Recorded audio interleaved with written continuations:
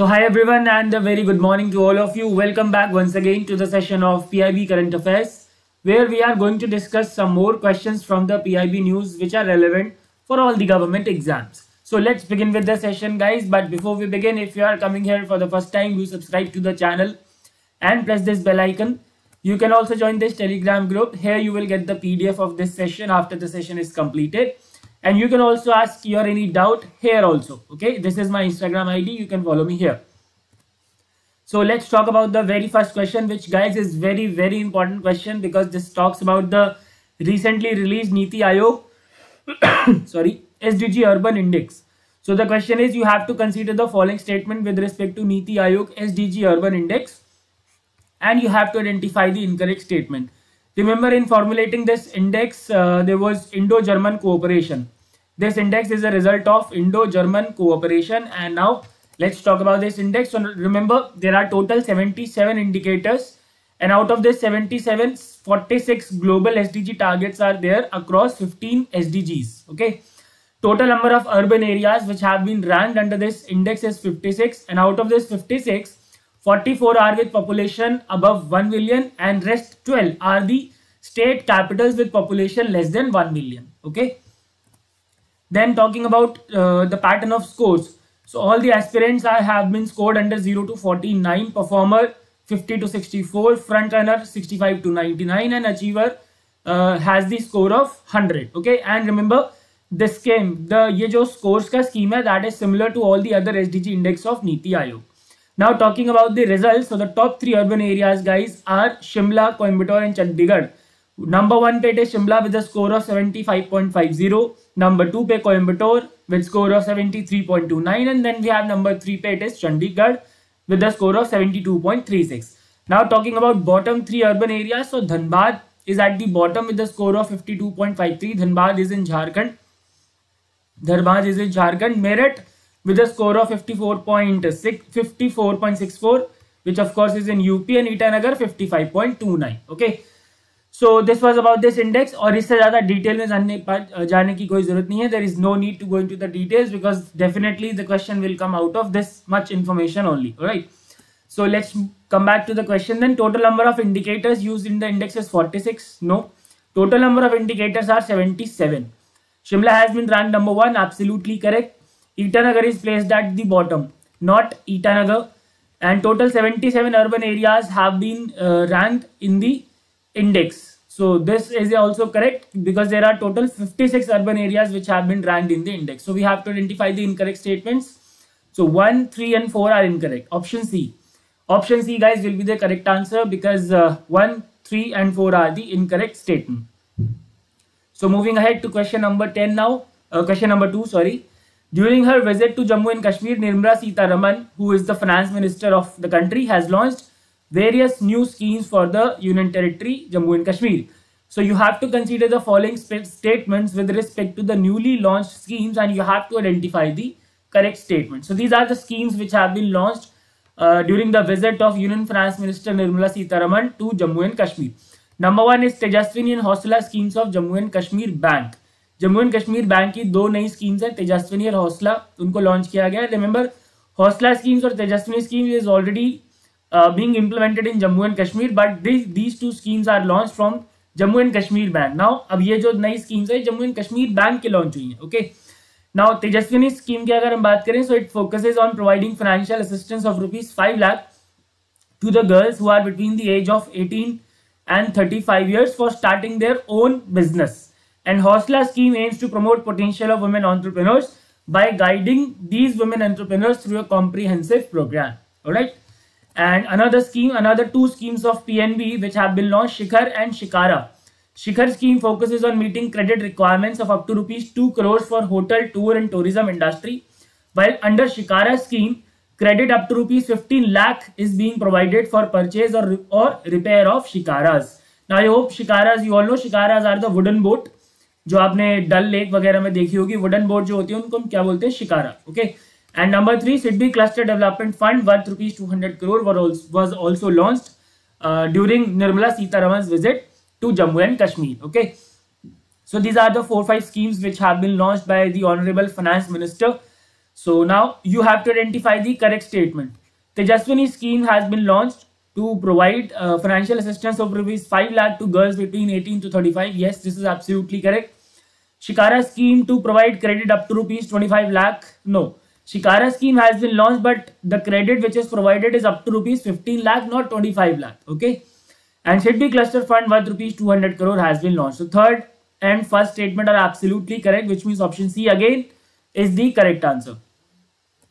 Moving ahead to question number three, which of the following two states have adopted Khadi Prakritik paint as a model of sustainable development under which total 31 Khadi Prakritik paint units will be established in two states. Remember Khadi Prakritik paint units, the brand ambassador is Mr. Nitin Gadkari.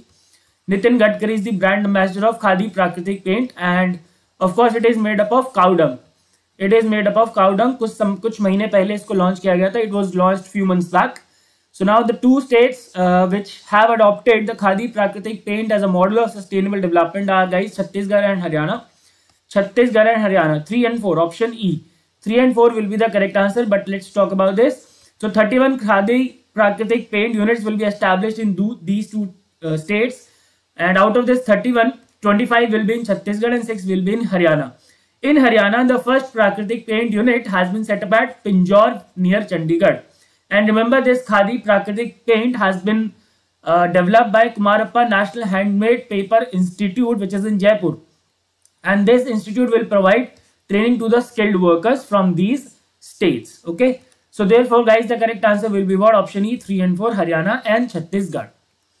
Moving ahead to question number 4 for which duration the fifth phase of Pradhan Mantri Garib Kalyan Yojana with outlay of rupees this much 53344.52 crore has been launched. So remember the fifth phase has been approved by the Union Cabinet recently of the Pradhan Mantri Garib Kalyan Anna Yojana and this fifth phase will run from the month of December 2021 to March 2022. Okay. दिसंबर 2021 से लेके मार्च 2022 तक जो इसका fifth phase है वो चलेगा remember it's first phase was launched from April to June 2020, second phase July to November 2020, phase 3 May to June 2021, phase 4 July to November 2021 and phase 5 December 2021 to March 2022. Remember the total expenses, the total expenditure of the government for this fifth phase will be 53344.52 crores and in all the phase together till now the government has allocated rupees 2.0 uh, 2.07 lakh crores okay और कुछ लोग कहते हैं कि हमारा देश अभी भी पाकिस्तान जैसे देशों से पीछे है हंगर इंडेक्स में हमें इतनी कम रैंक दी है I don't believe that ranking so there for the correct answer will be what December 2021 to March 2022 option B Option B will be the correct answer. Now let's move ahead to question number 5. Which of the following organizations have has won 5-star rating for sustainable mining efforts during the 5th National Conclave on Mines and Minerals? So remember two organizations have won this award. Number one is NMDC, National Mineral Development Corporation and SAIL, Steel Authorities of India Limited. So here the correct answer should be what option E, NMDC. Okay. Now let's talk about the question number six. You have to consider the following statements with respect to the textile sector of India and you have to identify the correct statement. Now we are talking about the basic facts of textile sector because recently during expo 2020 in Dubai minister of state of textile ने बताया है क्या क्या ministry of textile जो हमारा textile sector है उसके बारे में कुछ जानकारी दी है he has given some information regarding the textile sector during the expo 2020 which is being uh, which is being organized in Dubai. So India is the world's second largest exporter of textile and clothing. This is absolutely correct. Textile share in India's GDP is estimated at around 2.3 percent. This is also correct. Textile sector employs about 45 million workers. This is also correct. 74% FDI through automatic route is allowed in entire te textile value chain. That's not 74% guys, that's 100%. And the government has also recently approved a PLI scheme worth 12,417 crore.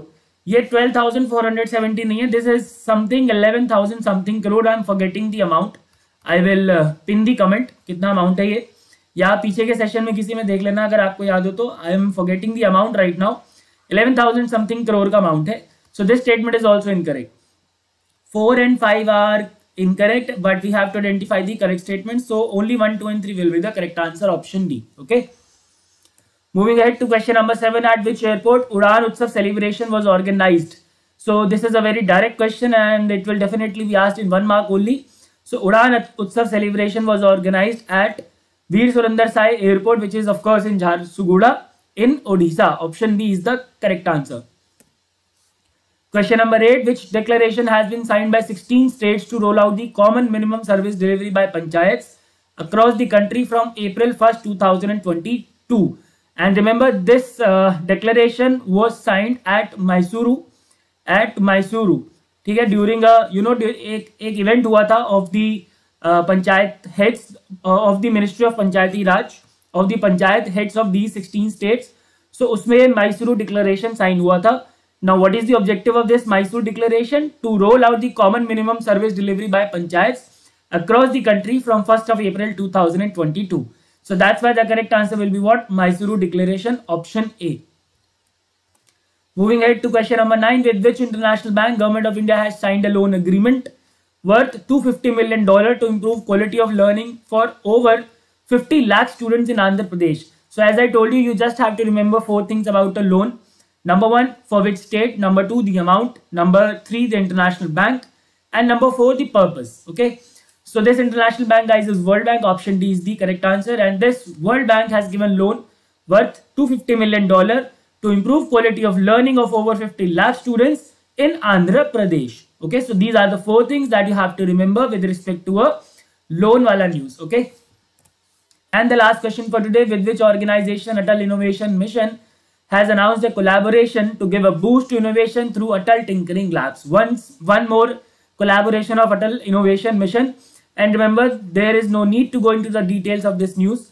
And this organization, guys, is Vigyan, Pras Vigyan Prasar, which works under the Department of Science and Technology.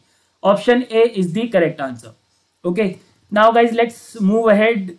Come back to question number one, where I forgot to tell you. देखो यहाँ पे uh, these indicators covers 46 global SDG targets across 15 SDG except two which are SDG 14, SDG 14 and SDG 17. SDG 14 guys is life below water and uh, life below water को इसलिए नहीं लिया गया because uh, it, it concerns only the coastal areas and most of the selected cities are not belong do not belong to the coastal areas okay and SDG 17 is partnership for goals it has not been included because uh, its monitor is uh, its progress is monitored at the national levels okay? So that's why these two sdgs are not included in this sdg urban index okay?